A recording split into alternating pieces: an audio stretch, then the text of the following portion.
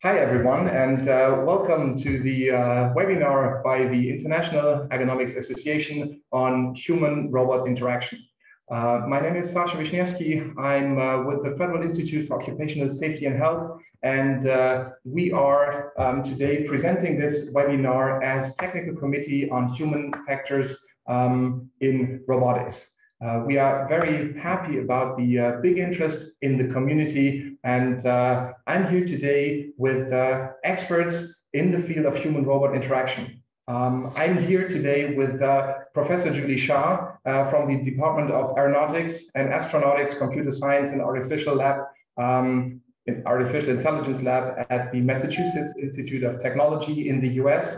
Um, I'm here with uh, Arash Ajoudani, um, a principal investigator at the Italian Institute um, for Technology, and Patricia Rosen, Rosen she's a senior researcher um, and deputy head of unit of human factors and ergonomics at the German Federal Institute for Occupational Safety and Health.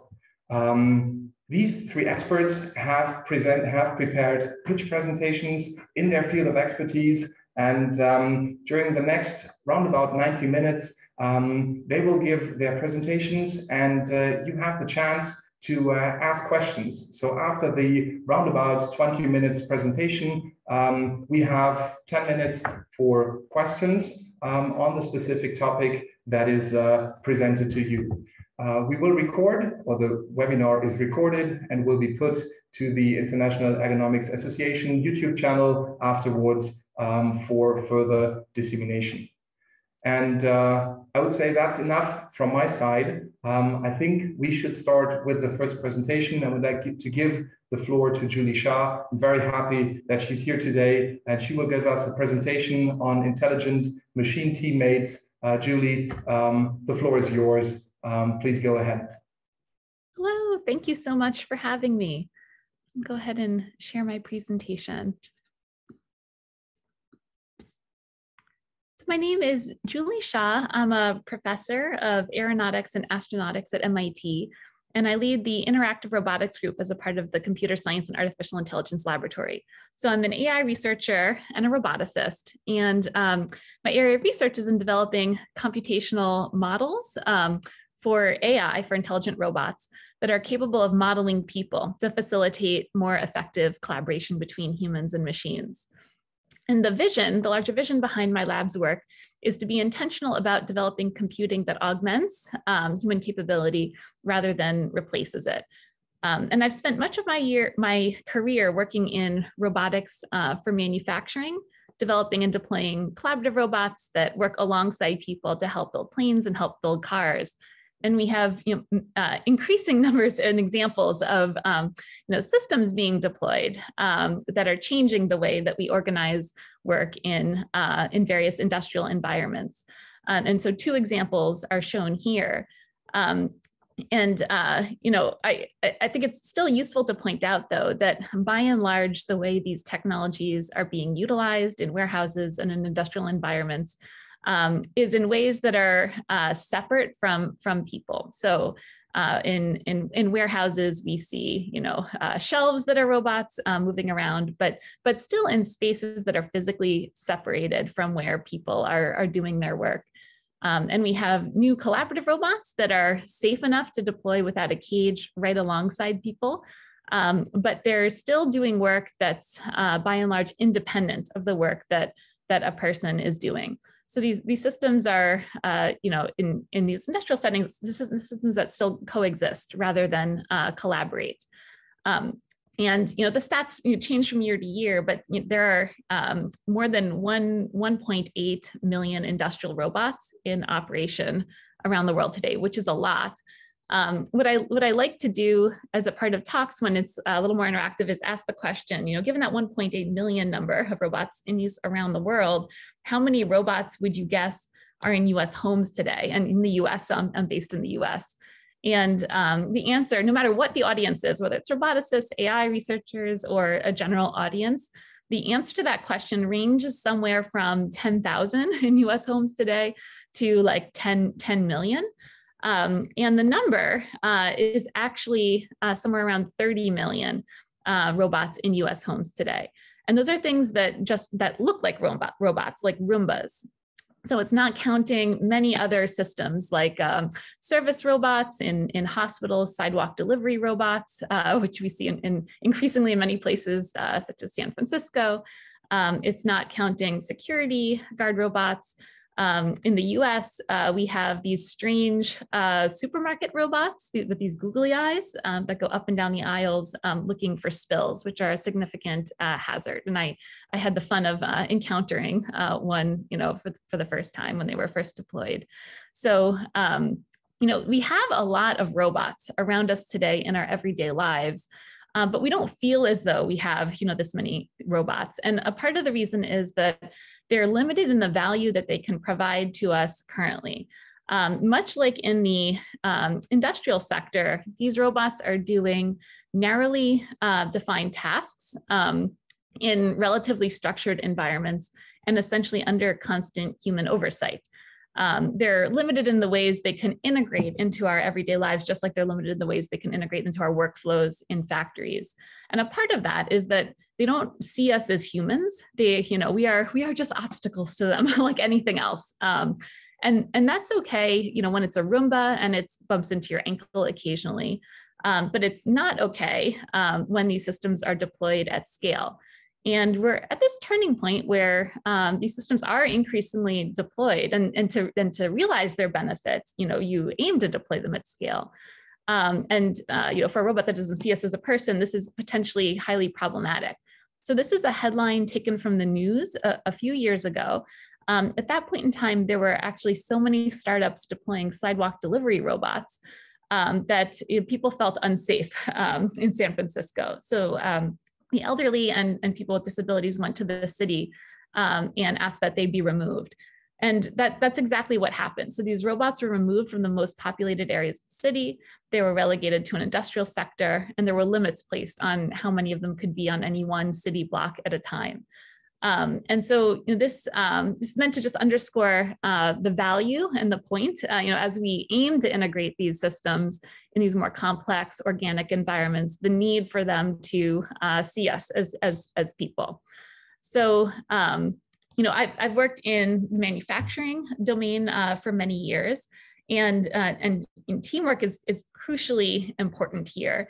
And so, a, a challenge problem requiring a lot of interdependence would be, well, you know, what would be required to embed a robot um, teammate or collaborator into what is a fairly complex, um, you know, uh, workflow. In this case, three people building up, um, you know, the body of a car and uh, how does that robot uh, bring its capabilities, uh, be able to sort of pitch in as a team member, and also be able to adapt because people don't work like robots and shouldn't have to be made into robots in order to work with robots.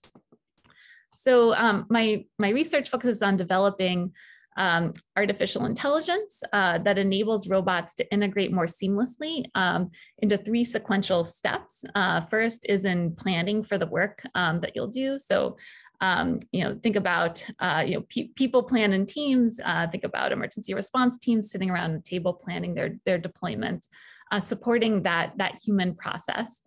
Um, but of course, no matter how much time you spend planning in advance, um, we never can fully anticipate, you know, how work needs to be done um, or what we'll encounter um, in the real environment. Uh, and people need to train with technology. They need to train with robots the way they train with other forms of technology. So enabling these systems to take um, plans and refine them through observation, through human demonstration, and uh, through training and co-training um, is, a, is a crucial part of um, my lab's research. Um, that's the refined step. And then finally, we want these machines and robots to be able to take those refined plans and use them online to be able to um, you know, not just know what has to be done, but be able to track um, you know, a person's, a collaborator's progress through the task and, and um, make fast changes um, when things don't go according to plan.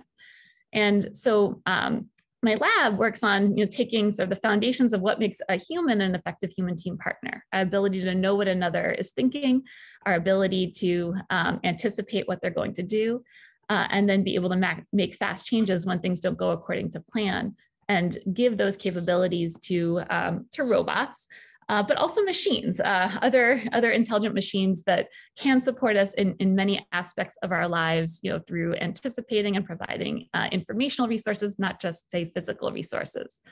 Um, and so a number of years ago, um, my lab looked at a challenge setting uh, in which we were uh, thinking about the challenges of deploying service robots in a hospital setting. And, um, and we looked at a labor and delivery floor.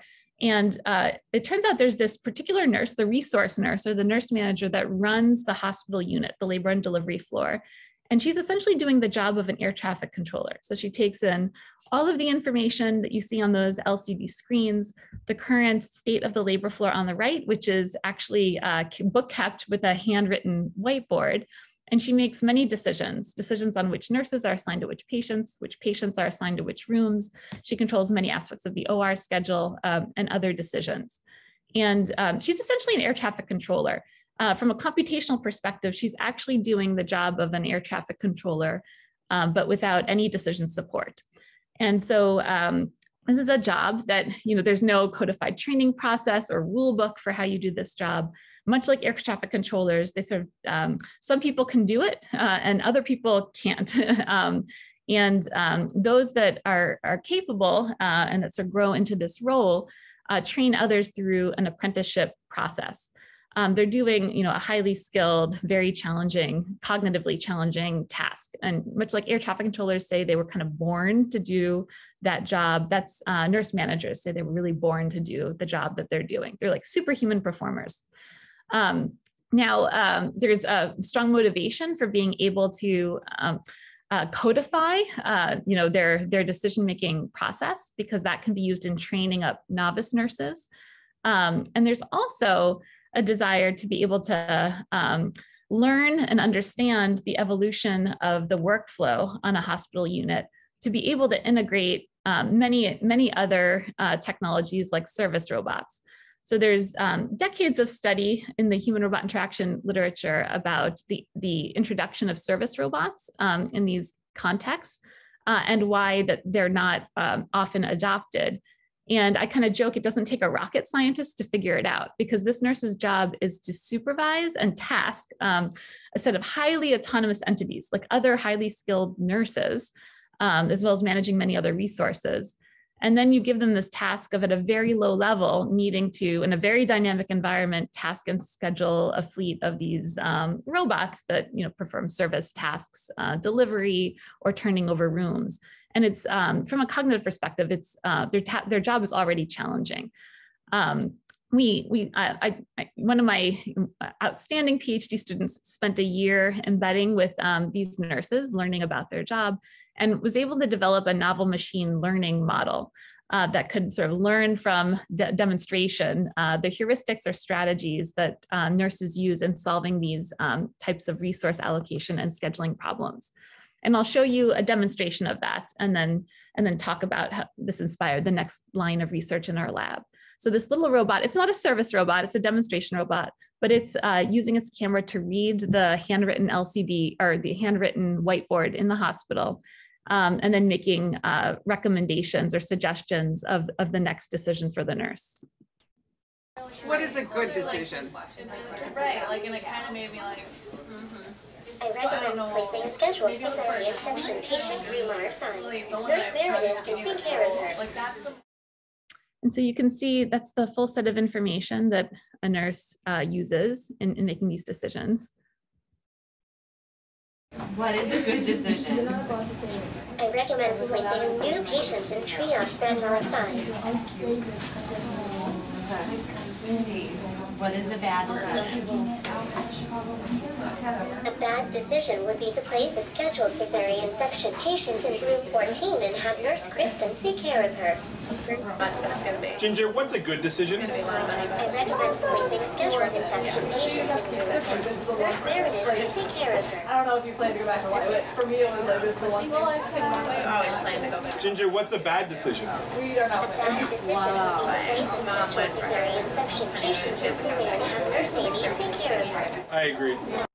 So these were demonstrations of the capability, but um, we developed a high fidelity simulation environment and, and conducted uh, rigorous controlled um, human participant uh, experiments involving the nurses and the doctors. uh, looking at both robotic-based decision support as well as computer-based decision support. Overall, the, the nurses and physicians accepted the system's recommendation 90% of the time, which is an indication that the system learned a high quality model. Um, the, there's no ground truth, so this is what we have. Um, so um, you know this is this is a success in some in some regard.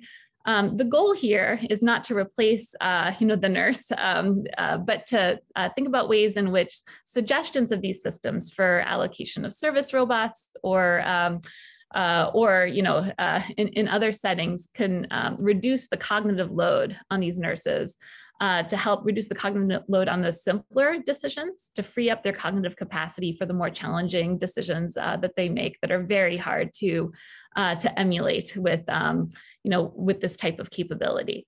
Um, and so um, so now what, I, what I'd like to do is, you know, while this looks like a success is, is talk about, you know, what's involved in making um, this type of system successful. And that's taking a machine learning expert, a superstar, and embedding them in the work environment um, for the better part of a year, understanding the various features um, and contexts under which these nurses are making their decisions. And even, you know, with that uh, very intensive process, it is impossible to encode or identify all of the features or factors that are impacting or inputs to, um, to the nurse's decision making. Um, and um, so, you know, uh, the, in, in, in different environments, there will be different factors that matter as well, highly personalized factors. So the ability to uh, learn the factors in a particular context or setting and the priorities and preferences over workflow is really incredibly important to the successful integration of these technologies. And this motivated um, you know, a, fo a follow-on line of research in the lab to think about what are the ways we can sort of break free of the machine learning expert and to be able to uh, capture um, these implicit factors um, that affect a human's behavior uh, workload, fatigue level, personal priority, personal preference, um, you know, all of all of these factors that that are very difficult for a person to make explicit, um, you know, in this in this uh, model building process. And so we developed a structured model that supports efficient inference, uh, where you take some information about what you know uh, are the decision factors um, that matter in this context, uh, and then aim to learn the latent uh, or um, you know, not directly observed decision factors, um, as well as their dynamics. Uh, so employing non-parametric models. And um, we structure this model in a way that uh, that is advantageous for performing efficient inference. Um, so if you think about, we're trying to infer some the human's mental state or cognitive state. Uh, one of the structured assumptions in this model is that the human's cognitive state does not directly change uh, the world. So I can't like think my coffee cup from one side of the table to another, but something about my cognitive state or my mental state will influence my actions, which will result in me moving my cup or not moving my cup at a certain time to a certain place. Um, now the challenge with, uh, you know, even when you structure these models to support efficient inference is that it's uh, it's really impossible for a machine to learn uh, a model that corresponds to a human held mental model without additional input from a person. There's many, many possible explanations of my cognitive state you can think of that would kind of explain the behavior you see of me, but really only one of them aligns to, um, you know, a human held mental model. Um, and to make this uh, example, um, you know, if you think about a subway system, you know, uh, in New York, the subway goes uptown and downtown. Um, so it's a two-state switching model. Uh, but in Boston, the subway goes inbound and outbound from some arbitrary point, Park Street. So my human held mental model of the subway is different, whether I live in New York or whether I live in Boston. Uh, but just by observing the behavior of the subway, going to the end of the line, turning around and coming back, you would never be able to discern you know, what my human mental model is.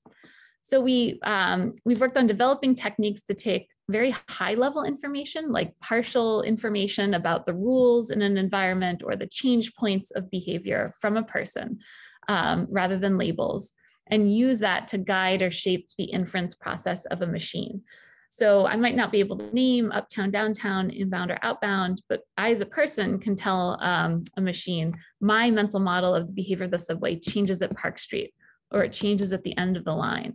And then that's enough um, uh, to sort of take that input and use it to constrain the inference process to learn a human aligned model. And we've had success with this approach, both in human robot collaborative tasks, you know, in the simple subway domain I described, a car.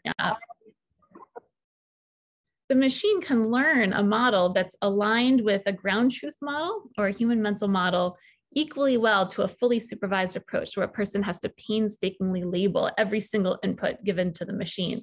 And unsurprisingly, when you don't provide any additional input and you just observe the behavior of the person, you don't learn um, a human aligned mental model.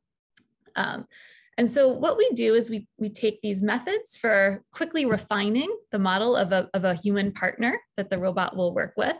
We combine it with a model of the task they're gonna perform, and we use them together within a computational model that allows the robot to make decisions online to predict what the person will do and then decide what it will do in order to collaborate. Um, these collaboration tasks can be things like handover tasks. Um, the robot providing the person the right part or the right material at the right time.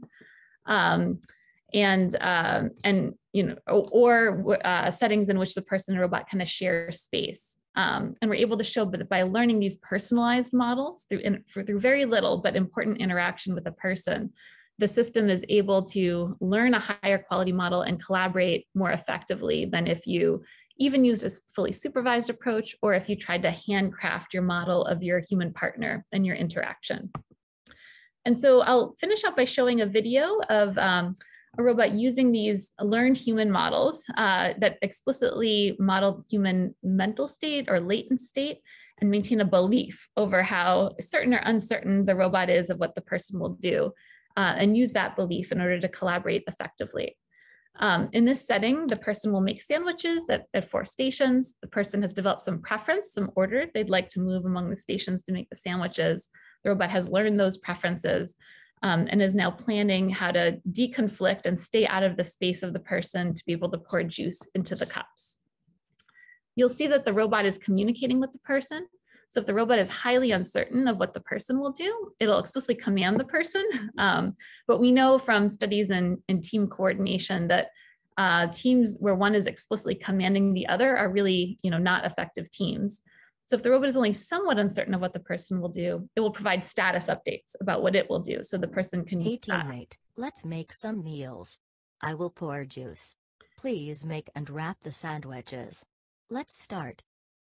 And the robot is tracking the person's hand there and its motion, fine grained motion to predict where they'll reach next based on the model Please it's learned make the, the next sandwich yet too. To get started, the robot was very uncertain of what the person would do, so it explicitly commanded the person. That can reduce the robot's uncertainty to choose the correct station to work at. Um, in this setting, the robot is deciding where to move in a fine-grained manner at the motion level uh, and whether or not to communicate um, every 0.3 seconds. So you can see in moving through the space, the fact that it's, um, you know, not communicating, um, you know, in this case, the robot was fairly, was highly confident that the person was gonna reach to location one. And so the robot didn't provide any communication to the person and instead was able to plan to move to location two to pour the juice. Um, and that's because of the, uh, the, the model the robot had learned in advance um, of the latent states and dynamics. I am pouring juice at 3. In that case, uh, the robot was somewhat uncertain of what the person will do, so it provided a status update to allow the person to efficiently mesh its actions with the robot.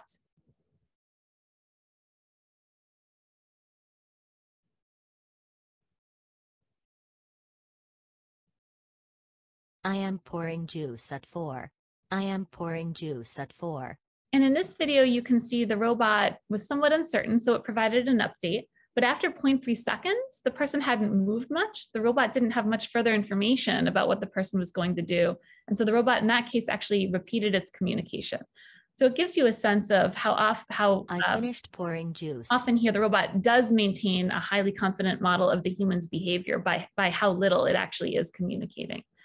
Um, and um, and we see uh, significant benefits for that, that communication. The person and robot are able to perform the task faster, um, but actually with more communications than with a handcrafted model. So these communications are being utilized um, efficiently for the benefit of the team.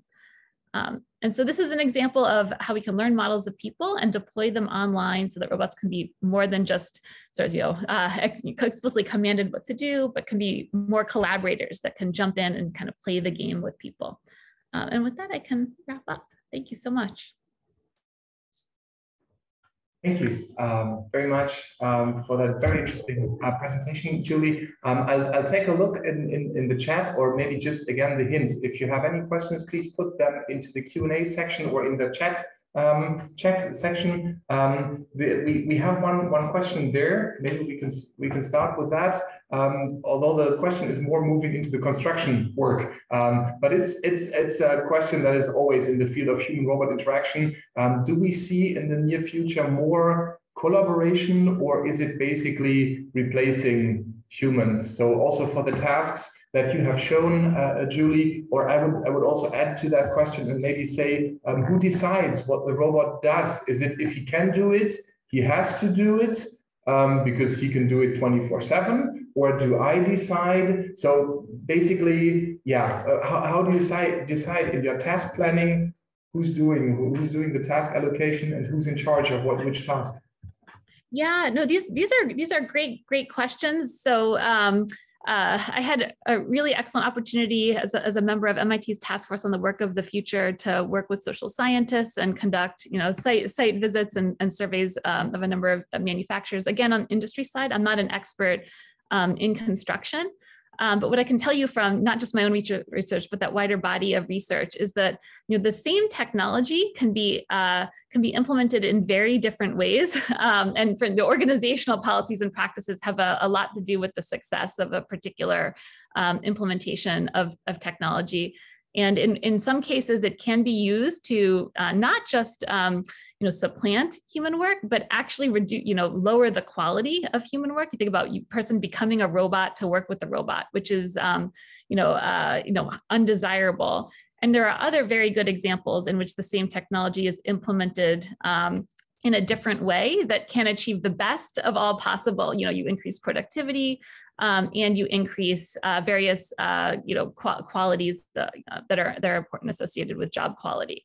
Um, and so, um, in, in, in, my own research here, one of the key goals is to, is to develop intelligence that can give the human flexibility to still bring what humans very, uh, very capably provide that is very different than what machines provide, which is our, our very quick ability to, to develop insight of what's required in a task, the ability to uh, enable a person to uh, learn, you know, follow a learning curve and figure out a different way to use that robot in a particular task and to give that capability to um, uh, to a shop floor worker rather than an automation engineer. Um, uh, can be very can be very uh, valuable. Um, sort of human uh, worker-centered approaches, um, you know, were, were identified as, as particularly valuable approaches to achieving sort of uh, the best uh, the, the best part of that you know space rather than the uh, the worst part of that space. Um, so um, you know, it's not just a matter of developing the right technology, but this much more holistic approach and, and solution to figuring out how to uh, achieve, you know, the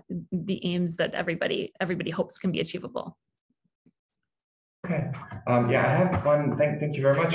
Um, another question, what you showed in the beginning with the nurses, you had uh, now as an embodiment basically for your AI. Um, so would you say um, how important is that embodiment, this anthropomorphism for the technology acceptance because on the other hand you could have taken just a tablet or a smartphone or a smartwatch telling them choose option one or choose option two. And um, of course now has now um, yeah some some kind of childish design but still we can use anthropomorphic robots to to help with these decisions. Do you think that's important? Um, or will you say well a tablet would probably also do the job or we have an advantage by using uh, yeah some embodiment for this kind of uh, decision support systems yeah, no, this is a, this is a really great question. We uh, we had a lot of like the the nurses and doctors liked the robot. we were invited to deploy the robot, um, but we um, you know we had concerns based on prior literature about. Um, uh, calibration of trust in, in the system providing um, decision support. And there's prior studies that indicate the more anthropomorphic the system is, the more it may engender inappropriate trust, compliance, and reliance on the technology. So um, in addition to the sort of algorithmic advances, uh, we conducted um, a separate um, human participant study uh, with the nurses and doctors looking at both uh, computer-based decision support and robotic decision support. Um, and uh, what what we found actually, you know, uh, we're very we're very interested. We're like from a responsibly from a responsible deployment perspective, very interested in the ability of nurses and doctors to follow uh, transitions in the quality of advice being offered by the system. So, um, you know, the system won't work well in every context. Can a nurse and doctor identify when, you know, after a few sequences, it's provided high quality advice and then it drops to medium quality advice or low quality advice? And interestingly, we found that nurses and doctors were better able to follow those transitions from high to low, high medium, low to medium, low to high, um, when interacting with the embodied system versus the computer-based decision support. And that um, that's an interesting finding. It's counter to some of the prior literature, and we do we do have um, you know a few few papers on it, but it, I think it requires more investigation and understanding. Um, uh, and these types of studies are, are, are critically important to understanding how you embed this technology in a real work environment in a responsible manner. Okay. Thank you. Um, I have one last question. Um, it's about, yeah, does the robot sense or assess the human's cognitive workload? Or basically, how do you, yeah, does he, how does he, feel? well, he's, he's uncertain on what the human is doing. Is he also measuring some kind of cognitive workload or any anything? Yeah. Yeah. So, so in these in these studies, often with our human participant experiments, we will do like a secondary task setup for for um, workload. The computational model we developed here, um, one of its values or benefits is that um, it can identify the factors that um, that appear to change uh, hu human behavior. So if you think about you, you, you've been like, you know, you develop a task so it's low workload or high workload, and then you aim to validate that. But where is that transition point in which uh, the human behavior like changes in relation to performance of the task? Um, and oftentimes those thresholds are set somewhat manually. Um, these techniques provide basically the, the, ability to try to identify those buckets or bins or thresholds via data-driven approaches. Um, the complexity is that um, it's not only one factor, it's not only workload that's, that's impacting what you see in a human's behavior. And so these techniques are, are bundling uh, presumably what are many complex interrelated factors into a small discrete set. Um, and so, um, you know, there, there's pros and cons to the techniques, but one of their values could be, you know, um, if you have a factor that's mediating behavior, to be able to use them to finally identify uh, the different regimes that, that you care about um, uh, and, then, and then how to address them. Okay, thank you very much. Uh, thank you very much for your presentation, Julie, and also for um, the discussion in the end. And um, I think that's a perfect um, yeah, handover to uh, the next presentation from uh, Arash Ajoudani, um, Senior Researcher and Principal Investigator at the Italian Institute of Technology. Um, and uh, he's talking about how to make collaborative robots aware of human actions and their ergonomics. So basically, we stick to the same topic and uh, we see um, the approach from Arash and his team. I'm happy that he's here. Arash, the stage, stage is yours. Hello, um, thank you very much, Sascha. Um, thanks for inviting, and it's a big pleasure to be here. Uh, very nice presentation, Julie, as always. Uh, and um, so, um, yeah, the, the introduction was, was done by Sascha. Thank you. Uh, my name is Arash Ajoudani. I'm a principal investigator at IIT Italy. And I'll be talking about a little bit about, uh, let's say, um, how we can um, integrate collaborative robots. What Julie was mentioning is mostly on maybe social perspective, but I would like to tell you a little bit more on the physical perspective, although I believe that these two aspects should be integrated at some point. Um, this is the let's say a little bit old um, this this picture but we're relatively um, uh, international. And as you can see mostly students a young group of people working on different let's say topics that you'll be you'll be seeing in the next slides. Um, we are working on a number of European projects uh, in particular uh, the SOPHIA project which is a um, let's say a consortium project of 7 million euros that I have the um, pleasure working with Sascha and Patricia in this um, project. And uh, several different projects that focus on the collaborative robots and also ergonomics in particular. And uh, we'll be talking today. So there are others, also some other joint labs that uh, we are taking some of these technologies to higher technology readiness levels to be able to see them in industry functioning. So the um, the uh, let's say the, the, the main research axes in my lab are uh, are, are, these three. Um, we are working on human modeling in general in terms of dynamics. We want to make sure that humans and robots um, can work, collaborate, coexist, and you know try to, to uh, control this shared effort and make sure that the allocation is in between different agents of different capacity is done, let's say, um, efficiently. Um, we also um, have some, some uh, let's say, expertise in in making robots autonomously work in the environment or either also teleoperated using a, an operator in a shared autonomy manner. Today, I think, uh, is the main focus of the, of course, the, the, the, conference will be on the human ergonomics that I will tell you a little bit about our approach in tackling the, challenges. So most of you working on this topic know that in industry, what we have is, uh, in general, in ergonomics monitoring of, of people, uh, especially in, in, terms of industry, um, uh, we have very simplified models. Let's say you, you might have heard about RELA, RUB, RULA, REBA, or EAWS scores and, and, and, similar topics. They are quite nice, easily implementable, and, um, mostly the inter, uh, industry is, is exploiting them. However, of course, they don't consider the interaction aspects. They're not extendable, and they are kind of, we call them pen and paper based, but they are very under, uh, let's say, specific. But on the right side, we have uh, very fancy simulation tools that basically are very computationally costly and uh, hardly real-time implementable. So the method that we are following in one of the projects, especially in the ERC project of mine, is that we are trying to bring some of the really nice tools that we learned from humanoid theory and apply them in understanding and calibrating and personalizing humans. They are online, they are modular, scalable, and also, as I mentioned to you, they are identifiable. So um, we, we, we start from, of course, the theory of um, humanoids, but of course it's extendable to humans in modeling the human behavior in terms of center of mass, center of pressure, joint torques, etc. There are several works on this that I will go to the details, knowing that we have uh, different expertise uh, in the call. Um, if you're interested, please go ahead and, and, and look at these papers. So um, one of the indexes, for instance, we developed was to try to, trying to understand in real time what would be the effect of an external load on, uh, let's say, um, loading on the let's say, what would be the loading effect of an external load on the joints? For instance, you can see in real time, we can estimate if a person is holding a, an object in different configurations, how much loading will be caused on elbow, shoulder, hip, knee, and ankle, and this can be uh, tracked in real time.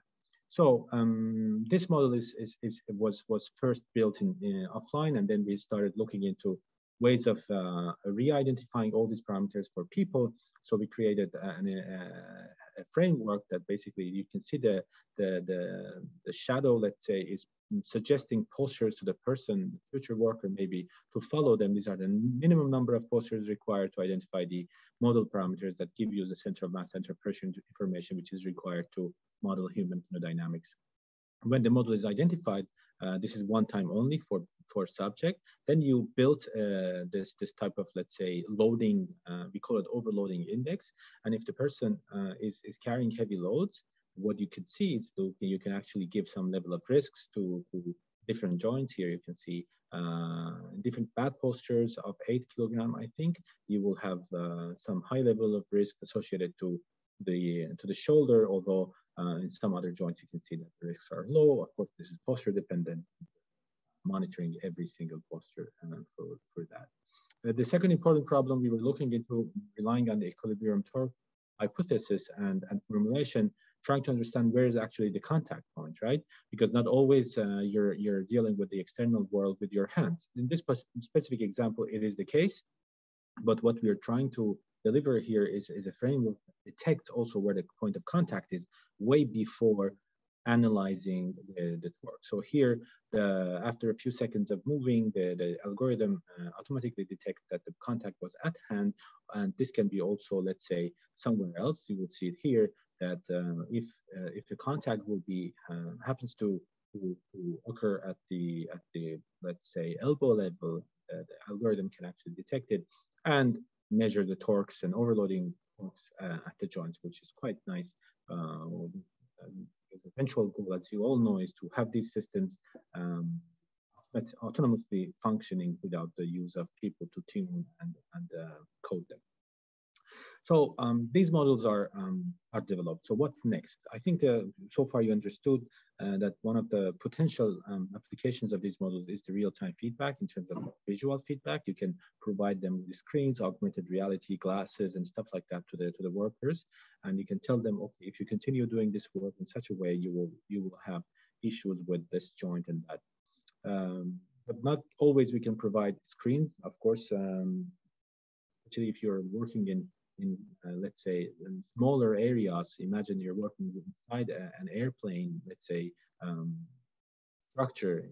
You cannot put screens everywhere. So we also developed some vibratable tactile wireless interfaces that we put them on on certain joints and we ran some experiments. We saw that yes in bad postures uh, according to the level of vibration and directionality that we are proposing people were able to adjust uh, their postures while performing tasks to minimize the joint torques and of course, this was supported by muscular activity at those joints uh, that was suggesting that the, the system uh, and the, the, overall interface is functioning and reducing the, the, efforts. The second huge application of these models is basically to create some, some robot optimization control frameworks that they can change their behaviors in a way that the, the, the, the, the collaborative persons, people working with the robots perform their jobs in the most, let's say, healthy ergonomic way. Because most of you know ergonomics is economics, right? So if you do your job in a, in a healthy way, you can you can be more productive, happier, and, and the quality of life will increase.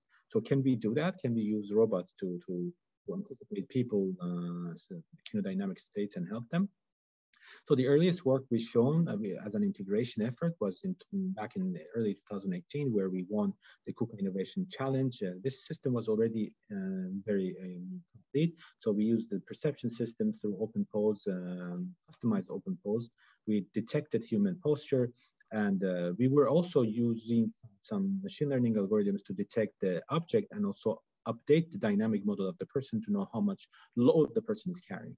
And the robot, you could see that it's based on the model that I mentioned to you a couple of slides back, is always providing the best working condition uh, in terms of ergonomics, but also if the person is moving around, uh, the robot is uh, adjusting the trajectory to follow the person. The, um, the, the intelligence is not only limited to to basically the to collaboration itself, but also to, to actions of the robots. If you pick uh, another tool, the robot will detect and provide the object with that. I was uh, so far I was talking about the instant loading, but as you know, there are several repetitive lightweight tasks that uh, that basically uh, eventually can cause risks on, on, on body joints, but not instantly. We are also trying to monitor that through the overloading fatigue uh, index that uh, you could see here um, after a certain period of time in bad posture. If you develop some certain level of risk in joints, the robot can reconfigure and bring the task to a certain configuration that the level of risk at that point is minimized.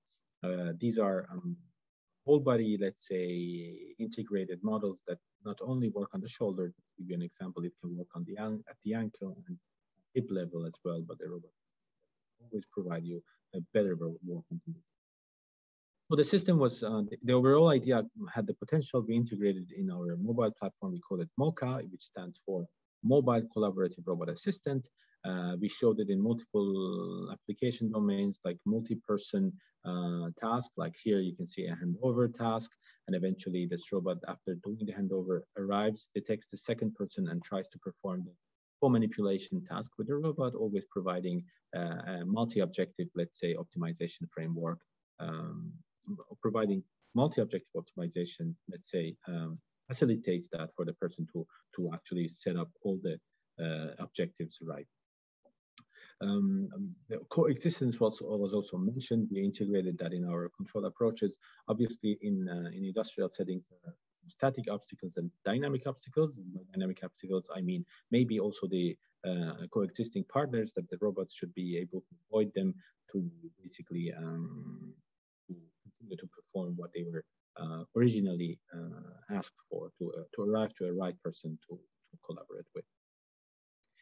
So as I mentioned in SOPHIA, in collaboration with Sascha and some other partners, we are um, trying to bring these, these ideas and, and, and uh, tools in industry. This is the one of the simulation tools we are using provided by IMK. If you're interested, have a look. Um, some links here. So this basically provides the tool to model the, the status of the of the person, walk past cycles, and also you can uh, simulate robots. This is the real um, use case that is being developed uh, at uh, now. We are halfway through the project, still two years. Uh, uh, we, we bring these these two the two. What I would like to show you is uh, we have um, some indexes by um, through simulations and of course backed by some experiments. We are able to analyze uh, how the entire um, performance and economics of people involved in attacks are changed um, after introducing these, these technologies. I'm not going to go through the details, but you can see that walk path per cycle is reduced, uh, the, the loading is reduced drastically, and also um, um, if the person has more time to, to operate uh, uh, more machines in a lighter, lighter way. I don't know how I do with time. I think time. So um, in parallel, we are working on um, a, a, similar concept to collaborative robots, which is a little bit different in, the sense that they are called supernumerary limbs.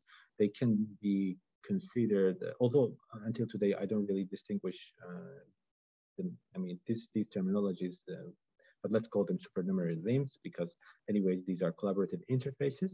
So this is a passive interface that we, we developed recently. You can see that there are, um, there's just a passive exoskeleton with uh, passive dampers that uh, we use it for load uh, compensation and most of all for vibration isolation.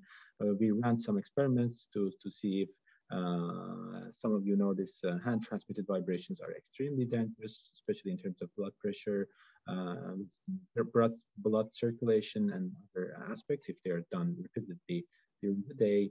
Uh, and this, this method can easily, this interface can easily, um, let's say, um, minimize the risks associated to that. Um, in terms of loading, uh, we are taking it to the next levels. Most of you know about whole-body exoskeletons. They are super cool, really, um, uh, let's say, performing in a sense that uh, they can be used uh, to very heavy uh, heavy loads. You've seen the Iron Man movie, and it looks quite promising eventually. But one of the issues so far is basically um, the, the, the cognitive load that you can see here, and also the the inertia that you're supposed to move uh, when you're inside the box is quite quite scary and quite let's say um, uh, bothersome. Let's call it. So we try to look at it from a very um, um intuitive mm, vision perspective. You can see here this, this, the system that we have through really simple interface without any variability constraint, without imposing any limitation on manipulation or locomotion of the person, you can use these interfaces to, to, to move heavy objects and uh, the person is quite light in terms of uh, cognitive um, and stress. Um, this is a very good alternative to such uh, such um, variable systems. Obviously, if you're talking about the patients, those systems are not uh, are not replaceable. But uh, as I mentioned in the beginning, my, my the focus of this talk is in the industry and uh, healthy people doing uh, industrial tasks. The the potential of this system was quite interesting, and um, we thought of maybe scaling up scaling it up to different applications. For instance, you know, people with some, let's say, minor or moderate uh, stability issues. So we thought of monitoring the center of pressure situation and stability of the person and use these systems with different strategies to, to help uh, people to regain balance. So in the first simple strategy, it was just basically stiffening up and becoming a, a, a walker. But the second strategy, when it was detecting a fall, the robot was providing corrective actions to, to so um, SOPHIA stands for socio-physical human-robot interaction. That is why we are also interested in looking into human cognitive ergonomics. But, but as you know, there are several ways of measuring them uh, in terms of uh, using biosignals. But uh, again, in industry, having EEGs or always connecting galvanic skin response sensors is not going to be very simple or practical. But what we are developing is, uh, to use um, again, robotics or robotics perception-based tools for detecting uh, the cognitive load. So this, these are very recent uh, works and publications uh, that I'm sharing with you. Um, some of them are actually under evaluation and review. By looking at people's, let's say, um, point of gaze, um, facial, let's say, features, or um, there are some body gestures that um, some I will be able to talk about it maybe in the next uh, presentation. But of course, if you can you can tell by looking at people how how they can be stressed. Um, we are monitoring this uh, also in terms of let's say where you're looking at if this is connected to the task or not, or if you're distracted or not. And uh, as a baseline, obviously we are we are we are um, controlling and we are let's say um, confronting this to galvanic skin response and heart rate measures and stuff. But at the end, you only need a simple 100 euros camera to be able to track person, um, body, and features. Very last slide. Um, we also provide more um, ergonomic interfaces in terms of um, teleoperation. We recently uh, developed a 3D mouse-based interface that you can um, use this to control each robot's movements and, and impedance in terms of interaction, but also um, switch between different types of robots. So this is just one interface can be used to do uh, to move our MoCA arm mobile-based system, but also can be switched to to, to the second uh, robotic arm that can we can do the robotic auscultation, hear the heart rate or respiratory, let's say, um, features uh, important in terms of COVID. Um, there's another feature to that is basically you can also make sure that with the same interface, the, t, the two systems are functioning in uh, in coordination coordinated way. You can see this the, the, the, another feature that comes for for for free. Uh, free doesn't mean simple. It's backed by hundreds, by tens of thousands of code uh, um, lines of code, but of course uh, can enable us to perform these. That's all. Thank you very much. I would like to acknowledge um, of my research. And if you'd be interested in, in these topics, especially from the human perspective, human modeling, just leave this slide for a couple of seconds. We're looking for a postdoctoral researcher and a junior researcher. If you're interested, just grab your phone and take a take a picture of that. It takes you directly to the call. Uh, and once again, thank you very much. If you have any questions, I'll be happy to answer. Thank you um, very much. Thank you very much for your very interesting presentation, Arash. Um, I again the remark. If you have any questions, please put them in the chat.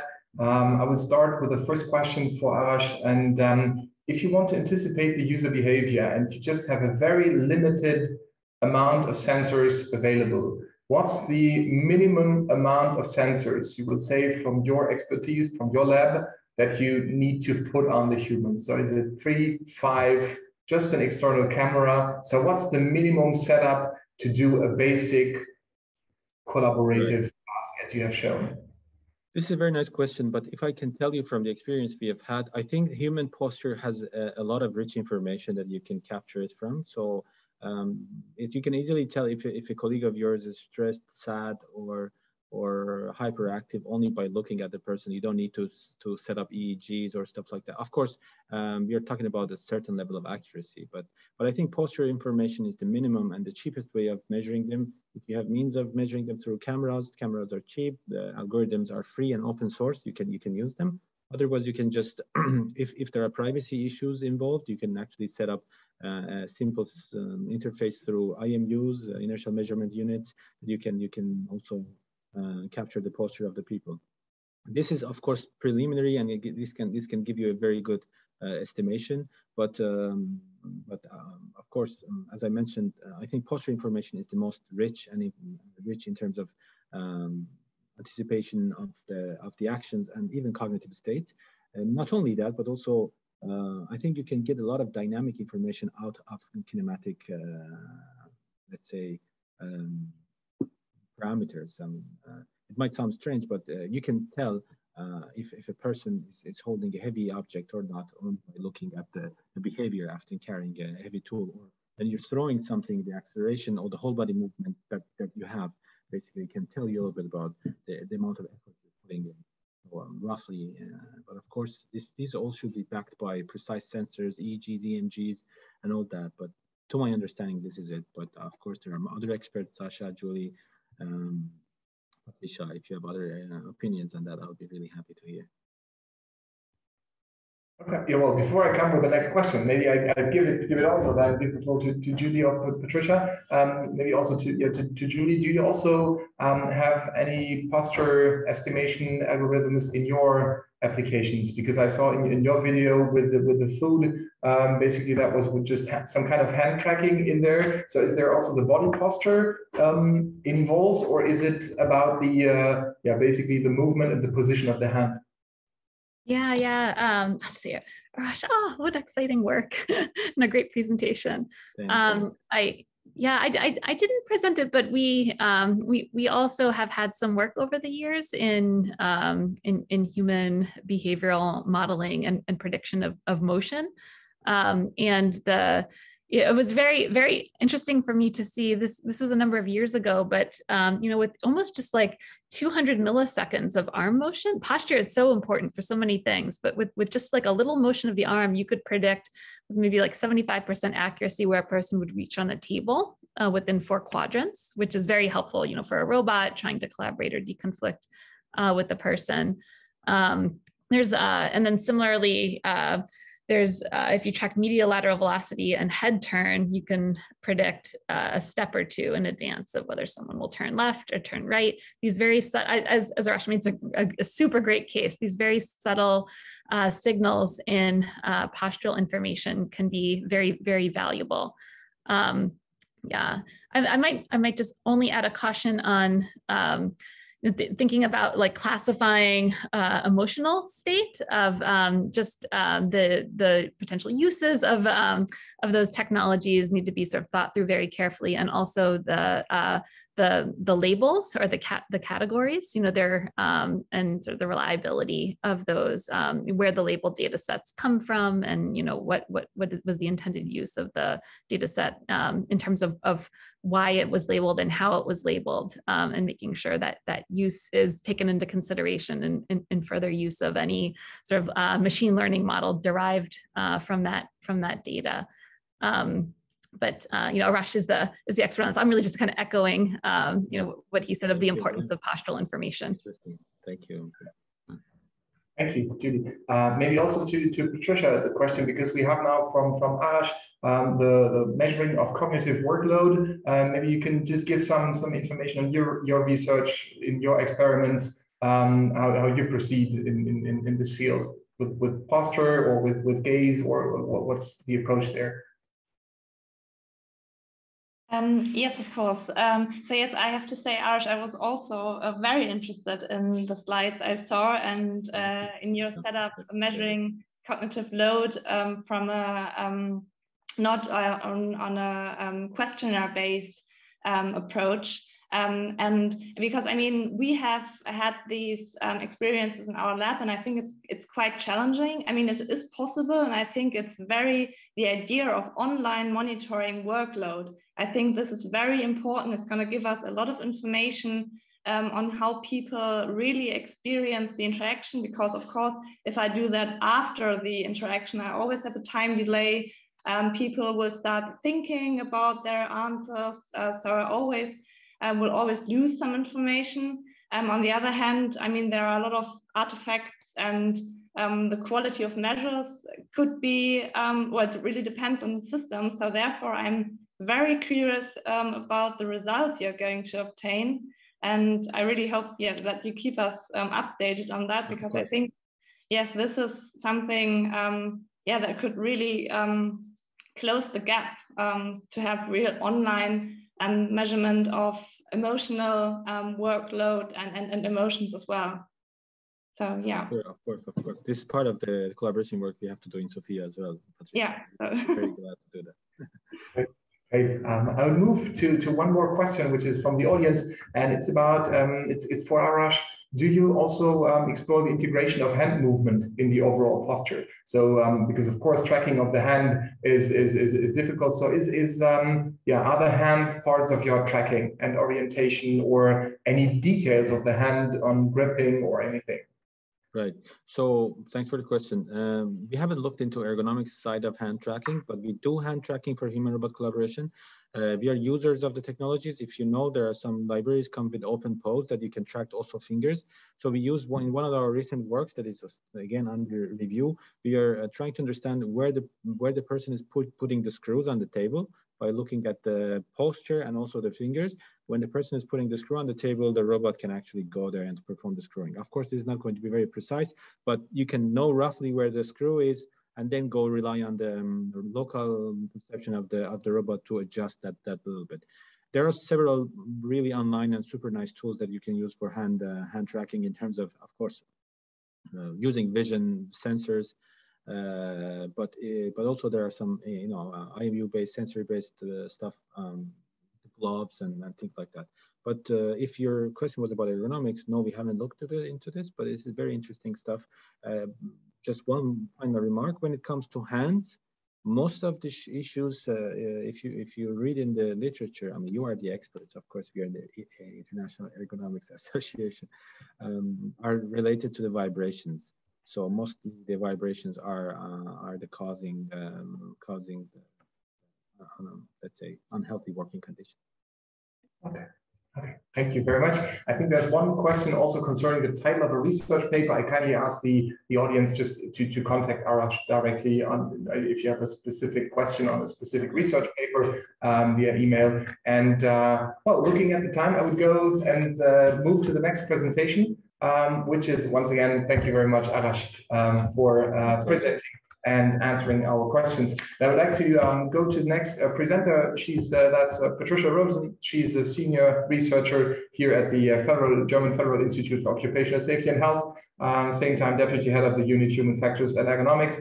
And she will give us a presentation on human-robot interaction, prevalence, and dimension for human-centered design. I'm looking forward to the presentation. Um, Patricia, the stage is yours. Yes, uh, thank you very much, Sascha, for the introduction. And um, hello, everyone. Um, yes, so within the next 20 minutes or so, I would like um, to tell you something about the prevalence of um, robotics in Europe that can actually directly interact um, with humans. And I think that adds up maybe quite nicely to what Julie has um, just presented earlier. And then, of course, dimensions which should be um, considered from a human factors per perspective in order to create human-centered um, teams of uh, humans and robots. Um, so first of all, um, if we look at um, what the manufacturers, the, the large robot manufacturers which are out there um, bringing to the market, um, we can see that um, within the last um, years, especially within the last 10 to 15 years since the technology of lightweight robots has evolved, they are bringing a number of variety of robotic applications onto the market. Um, they promise that new generation of sensors and actors actually will allow closer forms, interaction forms between human and robots.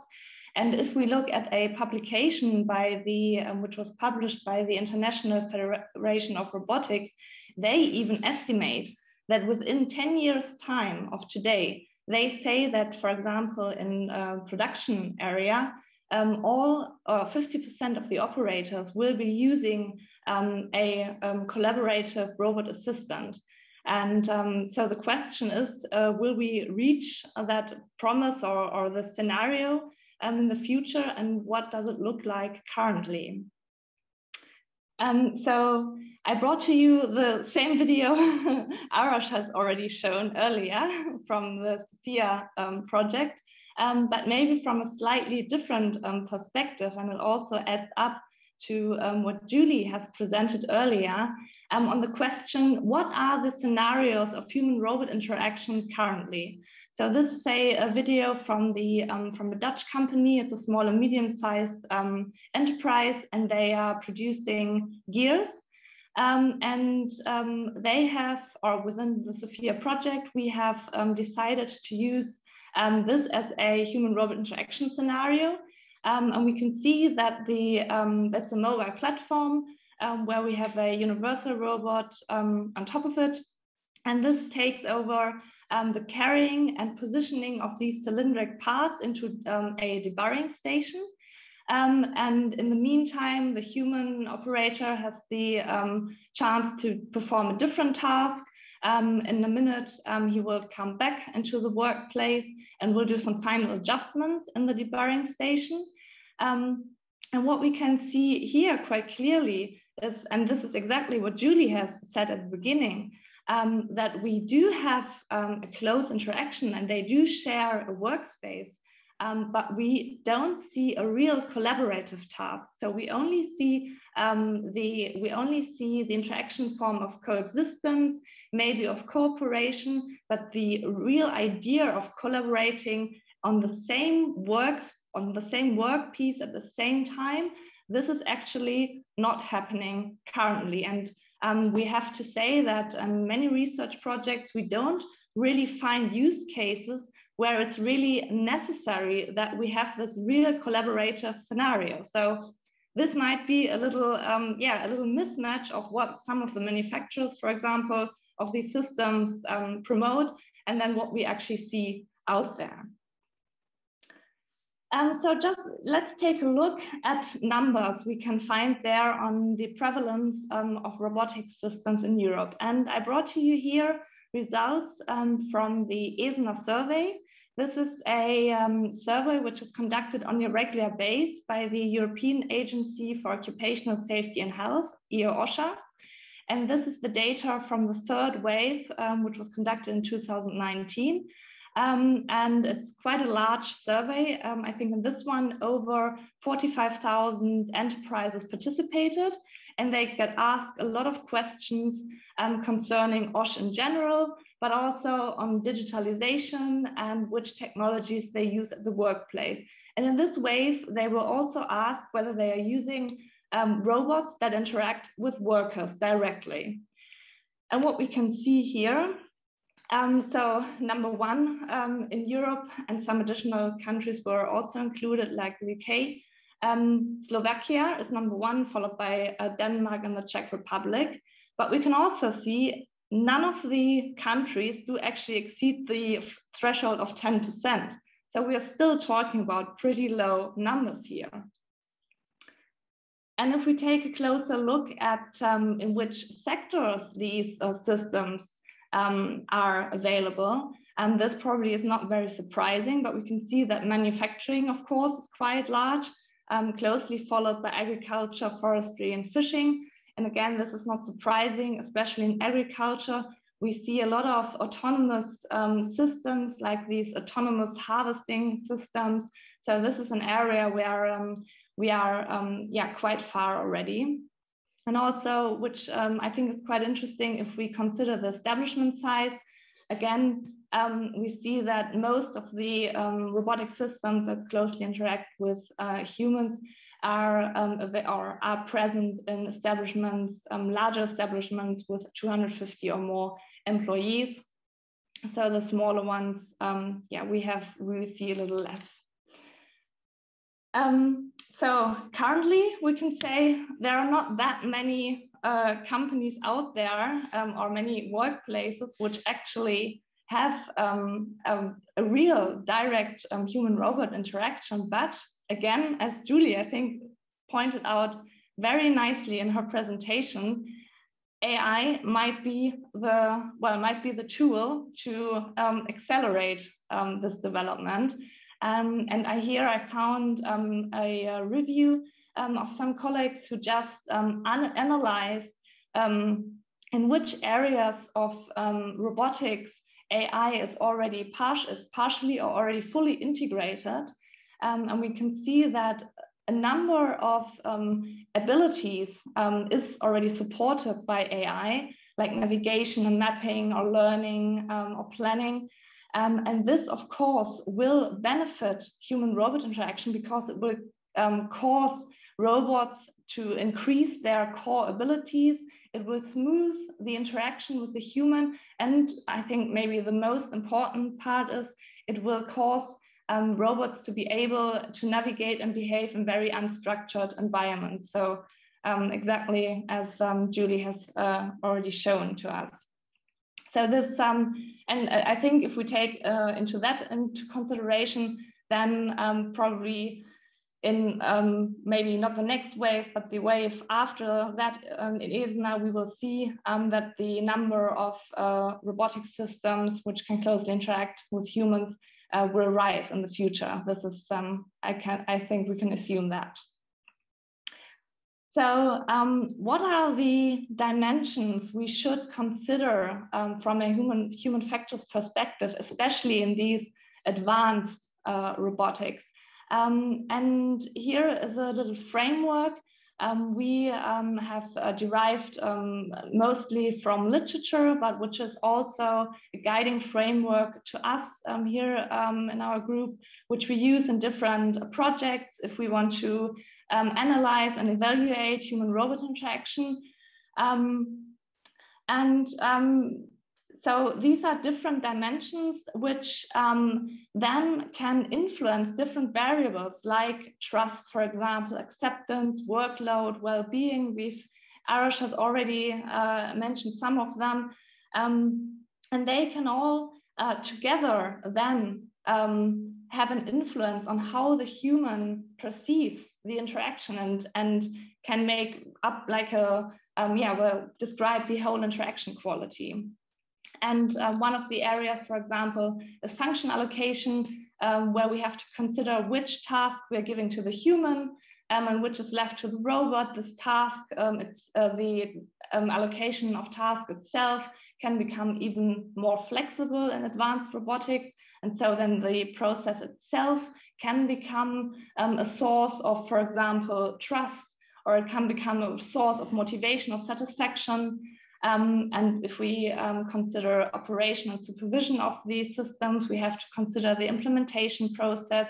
So for example, um, do we take into account um, the worker participation, and aspect like that, because this will eventually also um, have influence on how I perceive the interaction. Um, the same is true for task design. Task design um, is also not only um, in human robot interaction, but in any socio-technical system perspective, a core dimension, because it is always the combining element between a human and a technical system. And um, so here um, there are different risks, but also opportunities that can derive from the task design. So for example, uh, related to job control, um, there's always the possibility um, that uh, I could um, I can I decrease decrease the job control, which will not be very beneficial for motivation or well-being, but I have also the opportunity to increase it. And last but not least, um, we've already also mentioned that, and I think this is this dimension is very um, very specific for um, human-robot interaction because the other dimensions they also um, they can also be valid for other automating technologies. Um, but within interaction design, we have the question of anthropomorphic design. So I always have to be aware of any anthropomorphic cue I use will have an effect on the human. Um, and this effect can either be beneficial or not. For example, um, if I yeah if I if I use cues, I always will um, have expectations as a user that, for example, um, eyes uh, that I will expect uh, the robot to have sensors that will is able to um, is able to uh, have or receive visual cues. Um, and then, of course, we have very general design principles, um, which, um, especially in human-robot interaction, could also um, change in the hierarchy. That's also something we are going to look at in future research. Um, so these are just some basic dimensions which have to be considered.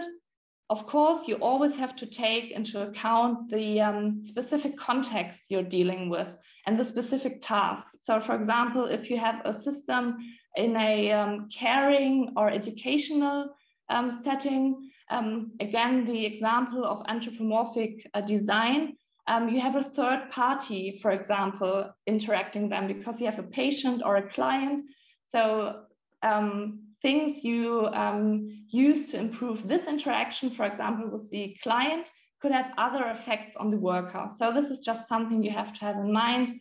the same um, holds true for manufacturing context. Here, maybe um, the anthropomorphic design is not so important, but rather the aspect, for example, of job control, because I have um, per se very repetitive tasks in manufacturing. And here the risk could arise um, that job control could decrease even more. So I just have to consider that when implementing these systems. Um, and just to give you some information on um, what, how we use these different variables in our um, experiments or in our studies and projects we um, do. So here you've already seen this a couple of times now. It's the SOPHIA project um, where we assess user expectations regarding, for example, mobile robots prior, so before they interact uh, with the system. And so we do that in field pilot applications. Um, and we have done that in a couple of other research uh, projects as well. And this um, gives us the opportunity not only to assess um, what people want, but also to create like a benchmark um, of uh, what um, what users or potential users from different backgrounds, but for the same system expect.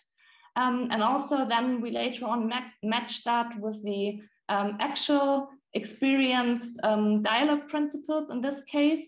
Um, and of course, this gives, gives us information uh, on whether the expectations the users had before match the actual experience. And if there is a mismatch, and we know from literature that this could be a crucial factor in reducing trust. So this is again something, um, yeah, just good to know and to describe the interaction quality. Um, and what we also do, um, we um, in our lab we create um, or try to create very very realistic um, working tasks. So, for example, assembly tasks where we then um, variate different task characteristics, but also the dialogue principles, and then again analyze um, how the human or the user perceives um, the situation. As we also address workload um, the emotional states, um, and things like that. But this is mostly done um, using questionnaire. And yeah, this is the method we use here. Um, and then this is just um, another project I would like to mention. we are doing for the uh, European Agency for Safety uh, and Health. and here um, we are trying um, to give an overview of policies, research, and practices um, in relation to advanced robotics, also AI-based systems um, for the automation of tasks and occupational safety and health. And here um, we are really, so apart from going into the lab and uh, pilot studies, we are really looking for real use cases. So systems that are fully integrated, um, fully working and running.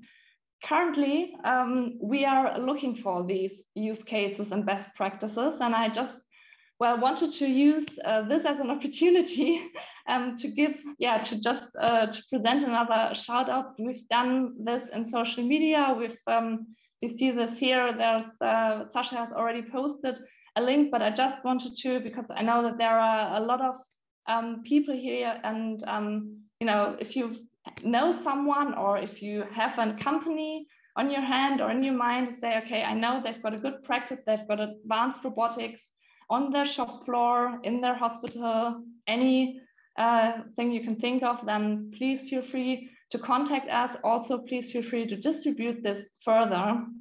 Um, this would be uh, would help us a lot, and we're really interested in this. Um, um, yeah, in these good practices.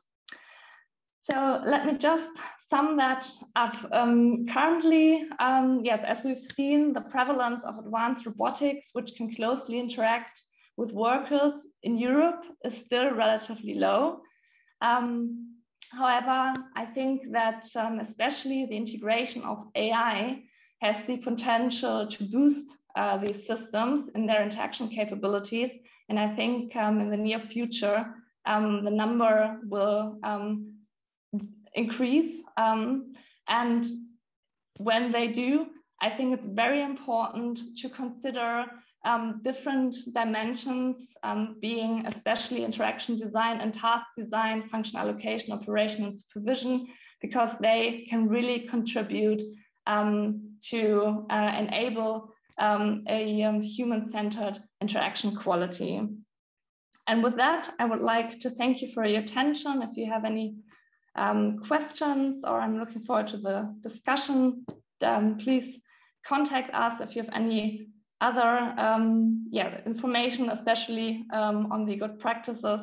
Um, and of course, as it's the time of the year, I wish you a happy Christmas. Thank you. Oh yes, and maybe one last slide.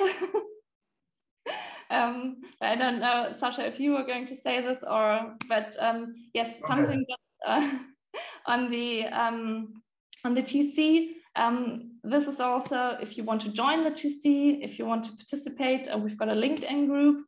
Um, you can just um, send Sascha or myself um, a message, and we we can um, well you can you can participate in the LinkedIn group. Um, so far, we are supporting, for example, the IEA Congress. And we are also supporting the IEEE um, conference uh, on advanced robotics, the ARSO. It's going to come up uh, next May in uh, California. Um, so we've linked these activities. So we've linked the IEA and the IEEE. Um, the call for paper is going to come pretty soon, I think.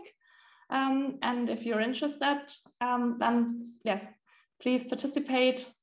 And maybe it will be something where we can see each other in person, which would be very nice.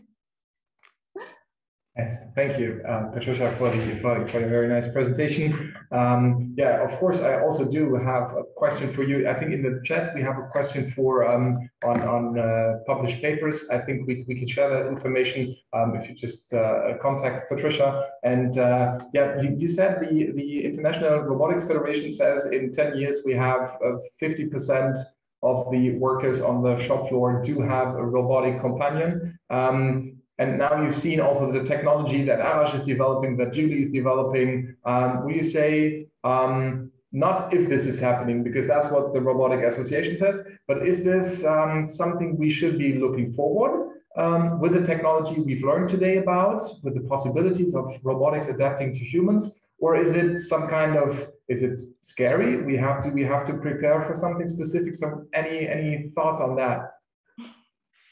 Yes, uh, I actually thought about that when I was uh, preparing the presentation. Um, well, I think if we um, if we always have the human factors perspective, or if we always consider um, the human to be in the center, then I think we don't have to be afraid of that. Because I mean, especially the things Julie and Arash have shown, I think they are pretty good examples as how the technology should adapt to the human. Um, and this is not only in a physical way, but also in a cognitive way. Um, and if this works smoothly, um, and uh, yes, if, if not only, um, well, I mean, of course, money rules the world. that uh, if it if it doesn't pay off, if there is no if there if there is no business case, of course, um, we won't see that, and it's not going to be there only because it feels nice or it feels good. But I think we can meet both goals. Um, so I don't think we have to be afraid. No, not yet. That, that's a very uh, good good outlook on the uh, technologies to to be developed, um, and I think it's it's a very good good good last words for these for these panel. Um, so so with that being said, um, I would like to thank um, the speakers very much. Thank you very much, Julie. Thank you very much, Arash. Thank you very much, Patricia, for your time, um, for sharing your research insights. I would like to, to thank Lynn Strother from the IEA. She supported the whole webinar in the background. And um, I would like to thank the audience um, for your participation, for your interest, for your comments, for your questions. And um, I know it's very important uh, to be on time, but we still do have five minutes. Um, and I don't close earlier because with my last words, I would like to hand over um, now to uh, Thomas Alexander. Um, he's here with us. He's the vice president and current treasurer of the International Ergonomics um, Association for some final re words, uh, for some final words. And um, With that being said, Thomas, the floor is yours. Thank you very much to everyone. And uh, please go ahead, Thomas. Hey, thank you. Thank you very much, Sascha, for this uh, introduction. Thank you again to the great speakers, to the experts here. And it was a wonderful, a great uh, webinar, and I really enjoyed uh, uh, participating and being a part of that. Thank you very much for that. And thank you very much for the audience for, for your interest in this topic. I think that is really very important when we're talking about robotics, human robot interaction, not to forget the H in there, that is the human, which is really very important. And I, I really learned a lot today about this topic here and to see um, how, how, how the state of the art, how the state of the uh, research looks like at the, at the moment for all of you a little bit of advertisement, of course, on, on behalf of IEA. Um, that is that we have this new format here, the webinar, which we haven't had uh, before we had this uh, pandemic situation.